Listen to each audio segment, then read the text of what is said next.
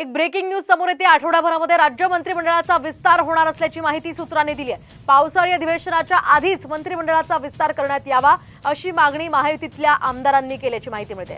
आणि यावर काल रात्री उशिरापर्यंत मुख्यमंत्री एकनाथ शिंदे यांच्या वर्षा या निवासस्थानी दोन्ही उपमुख्यमंत्र्यांबरोबर चर्चा झाल्याचं कळत आहे त्यामुळे आता लवकरच मंत्रिमंडळ विस्तार होईल अशी शक्यता सध्या वर्तवली जाते.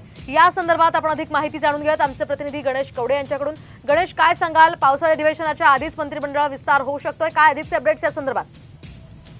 नक्कीच पावसाळी अधिवेशना अगोदरच हा मंत्रिमंडळाचा विस्तार केला पाहिजे अशा पद्धतीच्या भावना आहेत. त्या आमदारांकडून वारंवार बोलून दाखवल्या जात आहेत आणि त्यासाठीच या वरिष्ठ नेत्यांबरोबरची कालची एक महत्वाची बैठक आहे ती पार पडलेली आणि यामध्ये ही सगळी चर्चा झाल्याचं देखील सांगितलं जात आहे. कारण की लोकसभेला पराभव झालेला आहे आणि लोकसभेच्या पराभवातील नेते देखील आहेत ते कुठेतरी नाराज झालेले आहेत. त्यामुळे मंत्रिमंडळाचा विस्तार आणि त्याचबरोबर महामंडळाचा विस्तार देखील करण्यात यावा अशी भावना आहे ती व्यक्तिगत करण्यात आली होती आमदारांकडून. कारण की जर आमदारांना पाठबळ द्यायचं असेल तर हा मंत्रिमंडळाचा विस्तार आहे तो करणं अत्यंत गरजेचं आहे. त्यामुळे यावर देखील चर्चा झालेली आहे.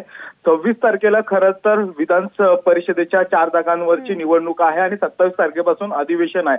त्यामुळे येत्या शनिवार किंवा रविवार या दोन दिवसामध्येच हा मंत्रिमंडळाचा विस्तार देखील केला जाऊ शकतो. अशी देखील आहे ती आपल्याला सूत्रांकडून माहिती मिळते. त्यामुळे येत्या दोन दिवसात यावर अंतिम निर्णय होईल. आज देखील दिल्लीतल्या भाजपच्या कोर कमिटीच्या बैठकीमध्ये देखील यावर सगळी सविस्तर चर्चा केली जाईल.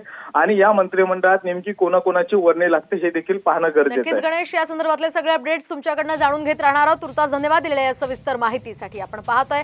अगदी येत्या काही दोन दिवसातच मंत्रिमंडळ विस्तार होणार असल्याचं जवळपास निश्चित झालंय आणि आता यामध्ये कुणाची वर्णी मंत्रिपदी लागते ते पाहणं अतिशय महत्वाचं असेल.